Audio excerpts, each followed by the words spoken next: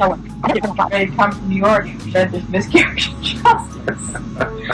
so we, we were going to plea bargain. How, how did it turn out? What, Oh, he plea bargained.